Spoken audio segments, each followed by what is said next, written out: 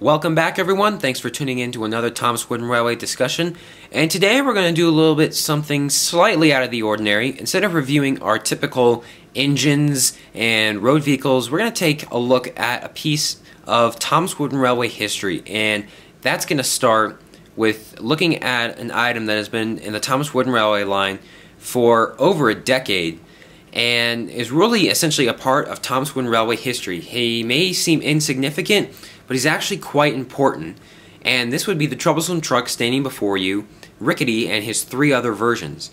Um, Learning Curve, contrary to popular belief, did not make Rickety up.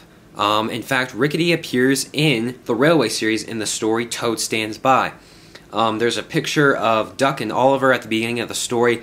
They're kind of standing underneath um, a pedestrian bridge, and it looks like it has signals on top and they're behind um, a couple line, a couple lines of freight cars. And at the front of the line, you can obviously see you can obviously see Scruffy, although he looks nothing like his um, wooden railway model. Um, kind of catty corner to Scruffy is Fred, the orange coal car, and then behind Scruffy, directly behind Scruffy, is kind of this teal, aqua-colored freight car that doesn't have any markings on it. And for the longest time, people were like, "Yeah, there's Scruffy. Yeah, there's Fred," and that was it even though there's some other troublesome trucks with faces, you couldn't really tell who they were. Um, and then somewhere along the line, somebody went, hey, look, I believe that's Rickety. And if you take a closer look, it does kind of look like Rickety. So, in fact, Rickety does appear in the Railway series. Um, so Learning Curve made a wooden railway model of Rickety who appeared in the Railway series, which was kind of a gutsy move on their part because like we've seen in the past with the Flying Scotsman and the Sodor Railway Repair and Neil, for example, um, characters who don't appear in the TV series do not sell well. And Rickety, I guess he did alright. He didn't do super well, but he stayed around for quite a bit, his original model. But then, as you can see, there are three other versions of Rickety behind him that have continued to last until this day. So, um, let's zoom out here and let's take a look at each of these versions of Rickety. What makes Rickety so unique is that um, the way he's set up, as you can see, there is only one screw in the bottom there holding this thing together. So that's why he's known as Rickety because he rocks back and forth on the rails. His face is a little bit weird. I guess he's laughing, but I mean, you kind of look at this face too long and you're like, that's kind of a really weird face. And it is. Um, this is the Rickety that was pictured in the Railway series. As you can see, it's kind of a teal aqua color. Um, I have not had this Rickety in my collection long at all. In fact, I got it. Um, this was actually, out of all the four Ricketies that you're going to see, this was the last Rickety that I got. And which is really weird because people usually have this Rickety. Um, for some reason, just like Stepney, I was really I was unable to get him as a child. Um, they sold him in uh, actually just as a single truck, which is surprising. Um, I, they sold Scruffy um, as a single truck, but they never sold Fred. Actually, you know what? They did sell Fred. Never mind. And they sold Rickety. So you don't get that option today of picking who your troublesome trucks are. You're kind of just kind of have to buy a set and deal with what you get. Um, so this is Rickety. Nothing really else to say. Um, there's rocks right here. Um, they're white, and on the bottom here just says Rickety. So as you can see, this Rickety has a lot of edge wear, but you know what? I actually like the edge wear on the trucks because it shows that they've been working very hard. So let's swap this Rickety out, and let's just kind of go down the line um, of all these different versions of Rickety. And this next one you're going to see is probably the rarest version of Rickety. Um, it was only sold in one set, and that was the Tidmouth Travel set, kind of the very early beginnings of maybe the Take and Play. Um, this version of Rickety is identical to the one you just saw with the exception of the paint color. As you can see, it's a bright orange. Why they decided to make a bright orange Rickety, nobody will ever know. I've always kind of wondered that too. It's it's a it's just kind you just kind of wonder why they decided to do it. Maybe it was so that people would be like, "Ooh, I want an orange Rickety," and they'd buy the set. Maybe there's something else to it. Um, but this is definitely the hardest version of Rickety to get because um, he was only sold in the Tidmouth Travel set. That was the only only set he was ever sold in. Um, he has the same color rocks.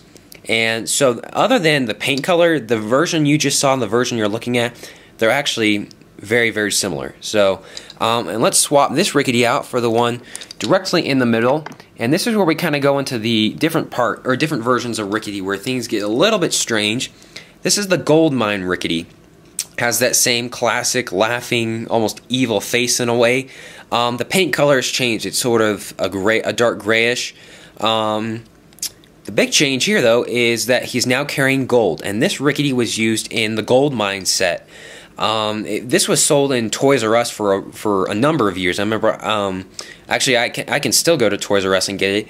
It um, the set has this, and it has a Gold Dust Thomas and Salty, and um, kind of uh, the Mountain Tunnel, but it it's a little bit different. Um, and this is the set that it came in. Um, even though this is the only set that it came in, it's still not as rare because, I mean, this thing pops up on eBay all the time. As you can see, um, I didn't show this on the other Rickety, but it's still that one screw, so that allows them to bob back and forth. Um, what's really interesting about this set, though, is I went to Toys R Us a few weeks ago, and I was looking at the 2013 models, and of course, Mattel has pulled out their um, own version of the Goldmine set. And on the box, it has a picture of the new version of Thomas, a new version of Salty, and then you take a look, and you see a new, and you see Rickety. It's just the same old Rickety like this. It's this Rickety. And I was like, hmm, that's kind of interesting. So I guess you can still get Rickety. But I, on closer inspection, however, um, I took a look. Even though Rickety's pictured on the box, he's not included in the set. It's just a standard, regular troublesome truck, and that's actually quite disappointing because um, as of right now, there are no other, there are no new versions of Rickety. So that's kind of the end of the Rickety era. This Rickety is labeled differently. It, they uh, call it the Goldmine Rickety. So let's swap this one out for the last version of Rickety. And this is actually the version of Rickety that I got first um, because it was in the Mr. Jolly um, Jolly Chocolate, Mr. Jolly's Chocolate Factory, excuse me. It was in kind of that five pack, which came with Rickety, um, you know, Sugar Car, Egg Car, etc. Um, it was actually seen in a lot of episodes in the very beginning of my series. So this is the very first version of Rickety I got, surprisingly. Um, this Rickety is all over the place. Um, he now has writing on the side. Um, this is now chocolate. Um, his paint's different. You know this. So this is the very far extreme Rickety. Um, it's nice that they did this and they kept Rickety in the series. I applaud them for that. I, I, applaud Learning Curve at the time for doing this because it's nice to see that Rickety can still live on, that we won't just get these generic trucks anymore.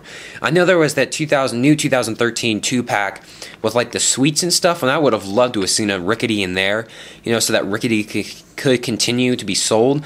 Um, but no more, I guess. Um, interesting. Just says Rickety on the bottom. So we just have we have Rickety, Rickety, Gold Mine Rickety, and then just Rickety again. So um, those are the four different versions of Rickety. Um, in the comments below, I want to know what your guys' favorite models are. Personally, um, I don't really think there's a bad model of Rickety. In fact, um, I would be the type to complain that, you know, oh, Learning Curve is doing everything they can to try to make Rickety sell. In fact, I think it's the exact opposite. They know Rickety can sell, and they're just using different versions of them. And that's really all they have to do, and it's not that complicated. So, you know, I really like the first two versions that we looked at in the back there on the left and the middle. That orange Rickety is really cool and it's really bright, but um, it's just so random. It's like, why would you make an orange Rickety? Like, I can see the original Rickety, of course. It's a nice touch with the Gold Mine Rickety and then the Mr. Mr. Jolly's Chocolate Factory Rickety. Um, but the orange Rickety just makes no sense. But I, I actually like that model of Rickety the best. So, um, you know what? That's really all. That's really there, all there is to this discussion. On an 8 to an F scale, Rickety um, I give him an A because um, this technology that you see right here, where he kind of bobs back and forth, he was the first wooden railway model to do that, and now all the troublesome trucks have essentially copied that. So I give, you know, I give an A to Rickety for being an innovator because that's what he is. Um, should you get Rickety? Um, this is a no-brainer. Duh. He's an extra troublesome truck with a personality. He's not just one of those generic troublesome trucks, you know. He actually has a story, essentially, and you can make that up. And um, so I definitely think you should get Rickety. You'll probably your best bet will actually probably be the original Rickety right here or either one of these two. You're not going to be able to find this Rickety for a cheap price. Um, honestly, I'd probably say you'd find this Rickety better than you'd find this one because this one was not sold for very long either. But that's really all there is to this Thomas Wooden Railway discussion. Um, I think Rickety's a really cool character, and the fact that he's lasted for over a decade um, just really shows how popular of an item he really is. And he's just kind of maybe almost, you know, one of the forgotten items in the Thomas Wooden Railway line. So that's it for this Thomas Wooden Railway discussion. Thank you for watching.